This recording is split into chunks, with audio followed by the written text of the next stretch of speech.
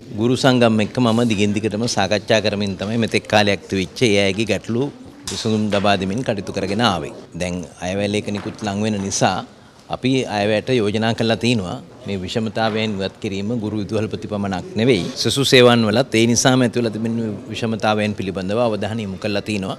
යම් ප්‍රතිපාදනයක් වෙන් කළා කොහොමද ලබන අවුරුද්දේදී ඒක සමනය කරන්න කියන කාරණේ. ඉතින් ඒක එසේ තිබියදී ඒ පිළිබඳව දැනුවත් වීමක් නොමැතිව වෙන්න පුළුවන්. මොකද අයවෙන් එන කාරණේ කවුරුත් දන්නේ නැහැනේ.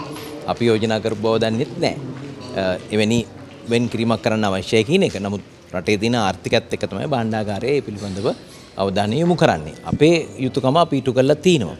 හැබැයි ඉතින් වෘත්තීය සමිතිය තමන්ගේ සමාජිකයන් වෙනුවෙන් ඉල්ලීම් ඉදිරිපත් කරන එක ස්වභාවයක්.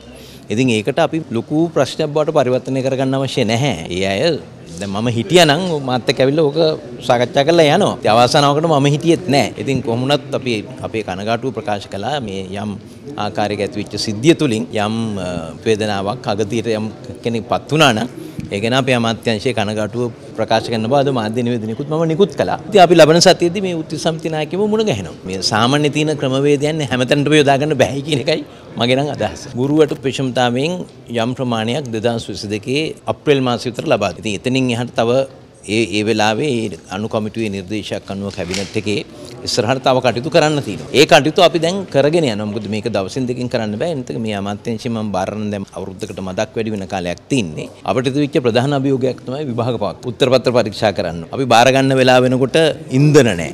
ඉන්ධන පෝලිං. ගුරුවරුන්ට උත්තර පත්‍ර පරීක්ෂා කරන්න යන්න තෙල් නැහැ. එහෙම තත්ත්වයක් තිබුණේ. ඉතින් අපි අපි ඒක යම් සෑහෙන දුරකට එයාගේ සහයෝගයත් එක්ක මේක සමනය කරගෙන තමයි අද මෙතෙන්ට ඇවිල්ලා තියෙන්නේ.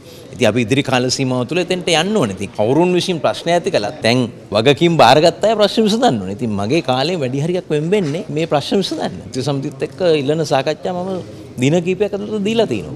ඉතින් ඒකින්ද මාත් එක්ක නම් කිසිම ගැටලුවක් නැහැ. මම කරුණාකරලා එකක් කියන්නම් විභාග දෙපාර්තමේන්තුව යම් ප්‍රමිතියක් අනුව තමයි ප්‍රශ්න පත්‍ර හදන්නේ. ඒ ප්‍රමිතිය එදා ඉඳලම අද දක්වා තියාගෙන ඉන්න. හැබැයි දැන් මේවා කර්මාන්තයක් කරගෙන ඉන්න අයත් ඉන්නවා අධ්‍යාපනය. ඒ කර්මාන්තයක් කරගෙන ඉන්න අය මේවට දක්වන අදහස් ගැන අපි කලබල වෙන්න ඕනේ නැහැ.